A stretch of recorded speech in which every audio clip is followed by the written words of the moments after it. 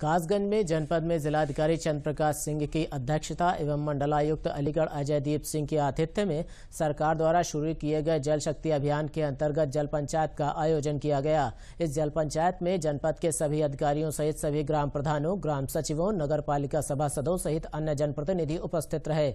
जल पंचायत में बताया गया कि हम सबको जल संरक्षण किस प्रकार करना चाहिए और उसके लिए किन लोगों को जागरूक करना चाहिए।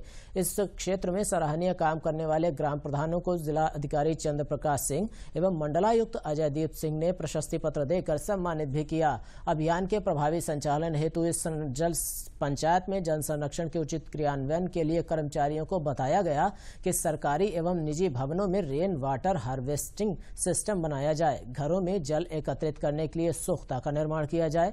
इसी के तहत जनपद में 16 लाख पौधे लगाए जा रहे हैं। जल के बिना कुछ भी नहीं है।